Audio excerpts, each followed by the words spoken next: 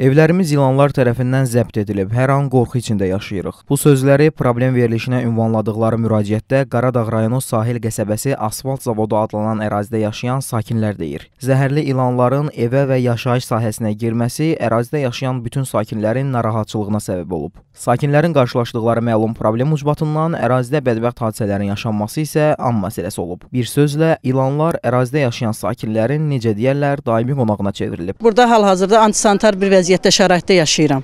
Bax bu gördüyünüz bax bu əqrəbdir, bu hə- həşəratlardır. Mənim evimdə hər ay nə qədər bundan tuturuq, öldürürük, məhv eləyirik, ilan, əqrəb. Bax evin içində də var. Bax bunları mən birini divardan sallananda, birini üstümdə üstümdən sallananda, birində bax o əqrəbi də xəlçənin altından. Böyük oğlum 16 yaşındadır, özü də rəssamdır, 9-cu sinifdə oxuyur. O yerdə oturan uşaqdır, gəzə də bilmir, durub gəzə də bilmir. Bu uşaq məcburdur ki, yerdə iməkli-iməkli yersin də belə deyim. O uşağın ayağına, dizinə, əlinə dəyib bu- bunu çalsaydı, İlanlar buradan çıxır, qorxuruq bax. Görürsən, gətiririk belə kağız qoyuruq, nəsə qoyuruq. Gecə uşaqlarımız hamısı qorxur, dəli oluruq. İlan əlindən. Bax oralar hamısı ev, eşik hamısı ilandır, qorxuruq. Ürəyi dolu sahil qəsəbəsi sakinlərinin problemləri təkcə bununla bitmir. Belə ki, qəsəbə sakinlərinin yol sarıdan da bəxtləri gətirməyib. Onlar deyir ki, mövcud yollar olmadığından hər gün kələkötür, keçilməz yollardan istifadə etmək məcburiyyətində qalırlar. Əlqərəz qarşılaşdıqları yol problemi onlara gündəlik həyatlarında bir çox çətinlik yaradır. Ərazidə yaşayanlar evlərinə gedib gəlməkdə bu cür çətinlik çəkirlərsə, bura gələn hansısa qonağın yaxud tibbi xidmətin qarşılaşdığı problemlərdən isə heç danışmağa dəyməz. Elə buranın cəmaatı hamı buradan çıxıb düşür. Buradan da zülmlə, zülm çəkirik. Yağış yağır, sürüşüb düşürük yerə. Nə gündə çıxa bilmirik, zülmlə çıxırıq. Bazara getməyə. Sizin gündəlik istifadə etməyə yolunuz yoxdur hal-hazırda. Yox, yox, yoxumuzdur. Oradan çıxdığımız bizim yola baxın, görün bizim yolumuz nə kökdədir, nə zülmdədir. Utanla valla, gəlin elə gedib düşürəm körpünün altında, olmur, alınmır. Körpü uşaq aparmalıyam dərsə, bağçaya necə aparım, nətər aparım? Uşağımız büdürüyür, özümüz büdürüyük, yıxılırıq, əziyyət çəkirik.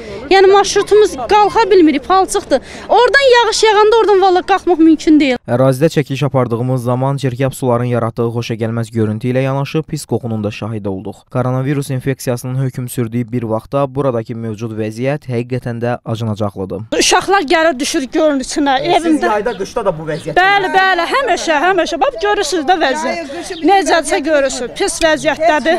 Yəni çəkdirə bir otağın içində qalıram, çəkə də bilərsiniz demə. Evimə yağış yağır, göydən simentlə, simentləmişəm 1 metr. Yəni pis vəziyyətdədir. Su da bu vəziyyətdə. Yəni görürsüz ki, nə vəziyyətdə. Burada e, adam qab yuyar.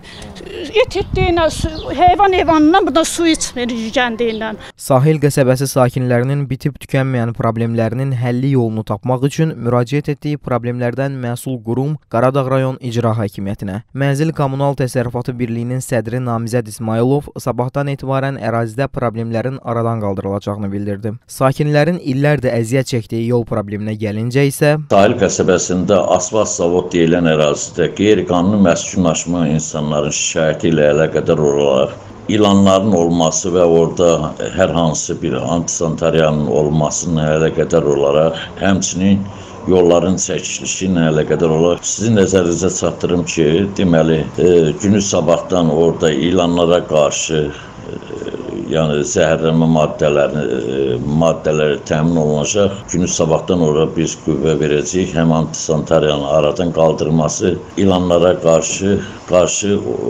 maddələrin maddələrlə təmin olunması.